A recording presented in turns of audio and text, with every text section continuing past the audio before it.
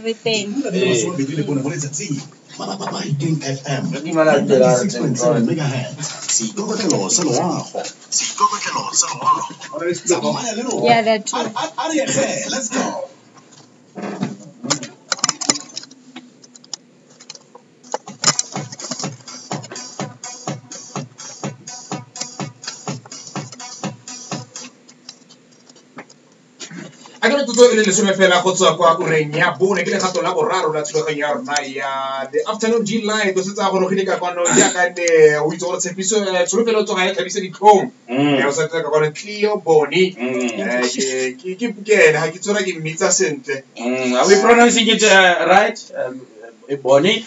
Yeah, the pronunciation Cleo Bonny, isn't it? Yeah. Uh, Cleo Bonny. Uh, yeah, we're gonna try the, working on the pronunciation. They said there's no master or kung fu master. Yeah, Uh, master of pronunciation. Master of pronunciation. Oh, oh, there's no professor of. Uh, yeah. Oh, yeah. No. Uh, yeah. That's. Uh, no. Thank you very much uh, for inviting me to this particular. It, it has been hard to get here. Oh, It's easy, starting by uh, the security that was about to knock off. yes. You know, uh, he was carrying his plastic. We were delayed there. Again, we're getting inside. There was a long form to fill up before I could get to this mic. Yeah. You know, we managed to fill up, uh, and we had to drink a couple of liters of water.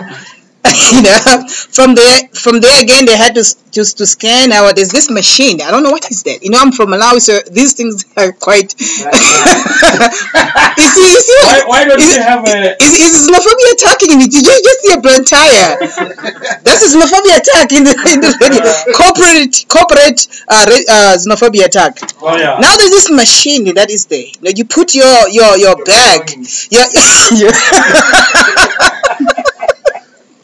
your belongings. You know, so we put your belongings. But this machine, what it was supposed to do was to check if you're carrying anything else uh, that has something to do with a state capture, that has got something to do with um, um, what you call this uh, junk state, you know. So, but instead, this machine searches your your bag. I don't know whether I, I'm- I need to check my bag properly because something could be missing. Then again, I go to another security. You know, when you're entering here, it's like you go to the White House of White House. You know, you can't get to yes, you can't get to to uh, to Donald Trump. You have to be searched Why throughout. not Union Building? Let's try union building because we don't want to talk about union building because everything is about Zuma, Zuma, Zuma. you know, somebody who failed to wake up today, he says, "No, it's a Zuma's fault." Oh, yeah. You know, they didn't pick up a, a garbage today. No, it's a Zuma's fault. Oh, yeah. State capture. Yeah. I don't know who's gonna, who's not going to capture uh, the state if the Gupta is because Gupta is at a small scale, like a satchel, satchel, you know, scale. Because what if we get the whole Rothschild capturing a Reserve Bank of South Africa. Over the years? I mean, they've been capturing here. Do you know they, they captured that? You remember that guy that, that they you know the the Boers they, they they they put him in the in the coffin? He was yeah, busy yeah. busy crying. I mean he was supposed to be happy. They were supposed to give him a home but he was crying. That was already state capture. He was captured there.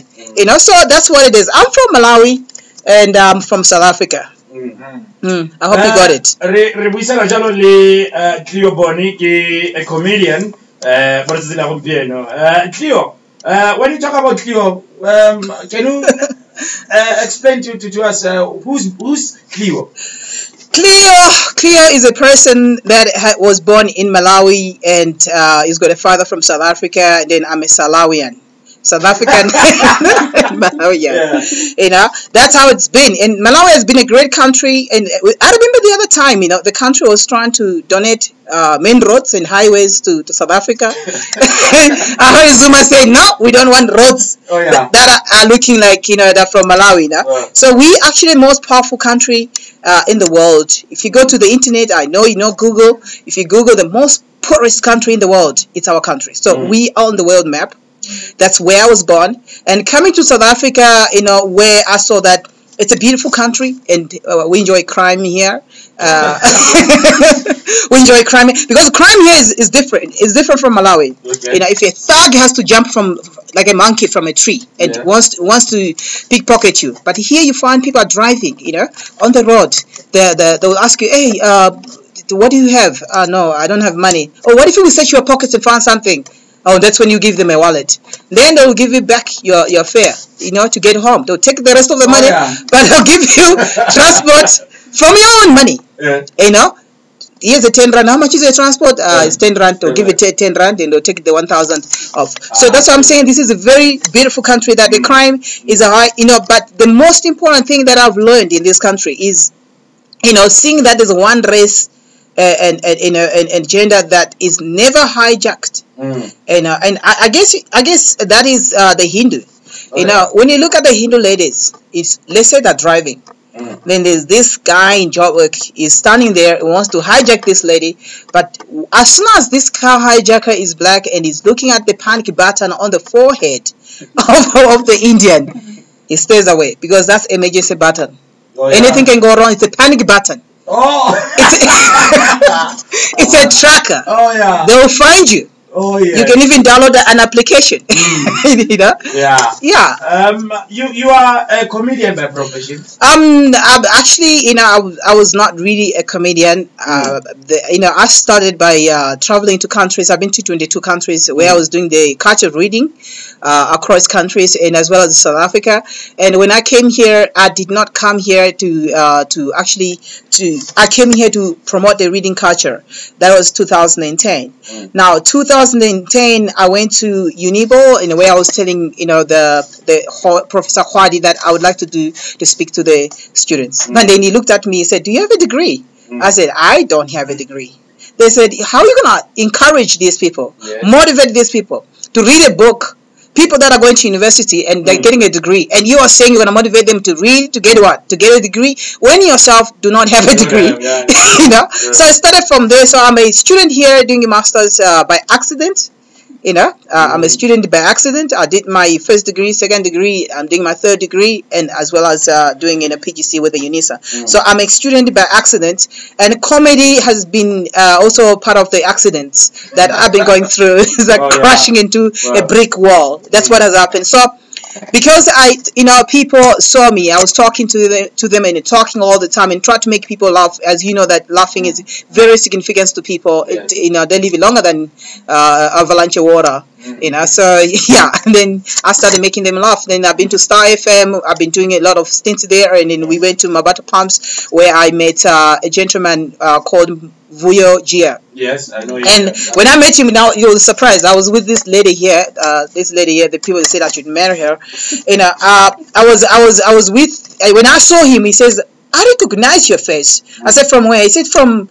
Uh, Botswana, uh, he was attending high school, I suppose. There, he said, "You battled me. We, we, we were doing hip hop, and you battled me." And I'm like, I'm like, okay, now you're, you're a comedian, you know, and I'm a comedian, so we performed together, and then, then uh, from there, I think, uh, and then here I am, you know, with you guys. Uh, Mhm. Xenophobia attacking me. Yeah. so so when did you realize that you you've got the capability of making people to laugh? Uh, when I realized that uh, I have a capability, I like the word capability, Mm-hmm. you know, because I'll tell you, I'm vertically challenged.